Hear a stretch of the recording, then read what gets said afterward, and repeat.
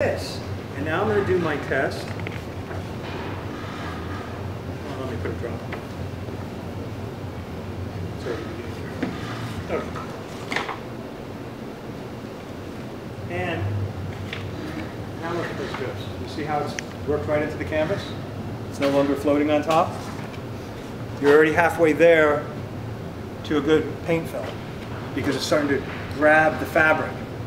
You don't, a paint film is not good if it's not adhering to the surface. So as you see, it's sort of stained the canvas. In other words, it, the water and the surfactant sucked into the canvas more so you have a better paint film. So, like I said, you, you're thinning your paints down with a lot of water, fine. But you want to be able to put something in that's going to make it a better paint film, and that's what you would use. Um, here is one of my favorite boards.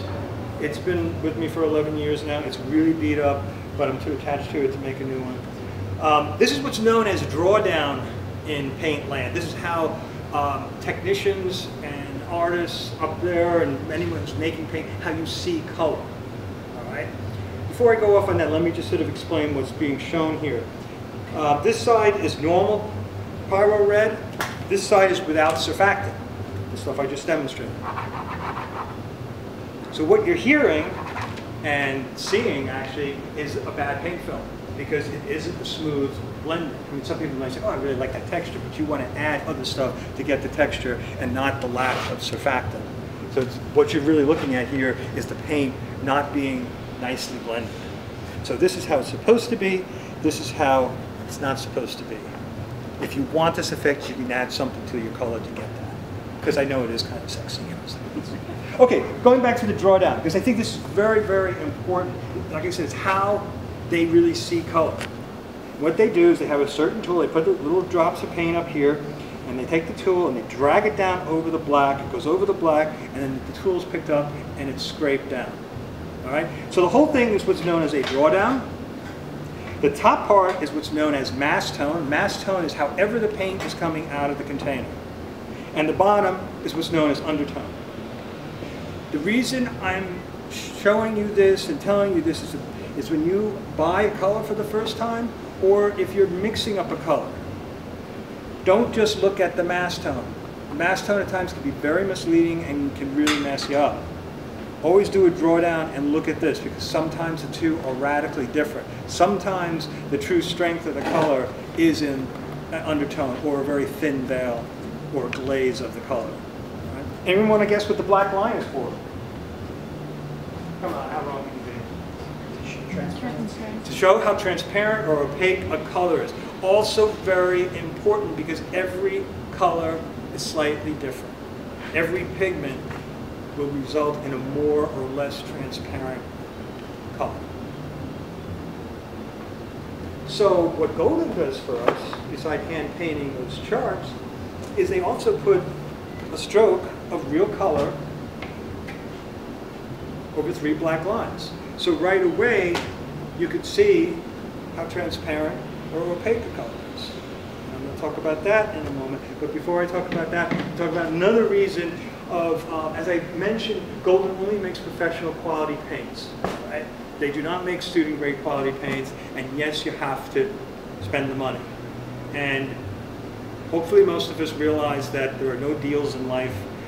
You get what you pay for. If it's cheap, it either fell off a truck or it's cheap. No one's going to make a good quality product and you know because they're a really nice company and sell it to you. You know, um, Liquitex, which makes really good paint, has their student grade quality paint, but they're not going to sell you a tube of cadmium yellow that has any cadmium. Cadmium is a semi-precious metal.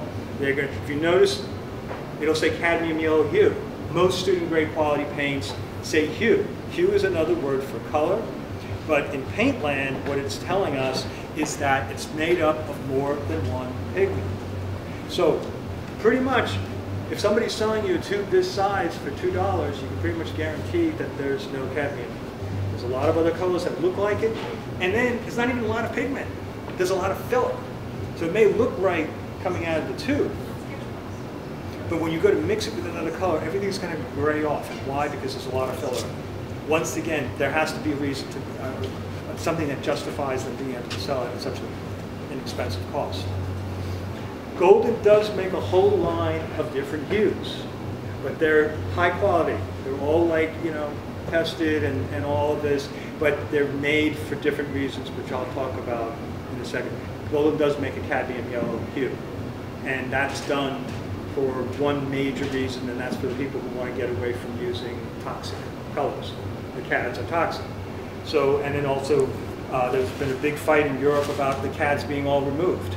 So they, you know, there's a lot of stuff being done on experimenting with new pigments to replace them. Um, okay, nice big photograph a nice large container of Hansa yellow.